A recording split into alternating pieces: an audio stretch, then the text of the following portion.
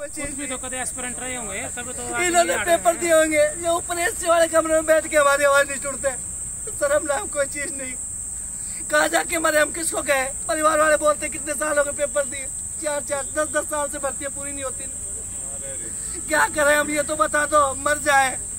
रोज़गार देना बस के लिए छोड़ दो हम मना कर दोगे भर्ती पूरी नहीं होगी। अब अपने घर चले जाएँगे। भी क्यों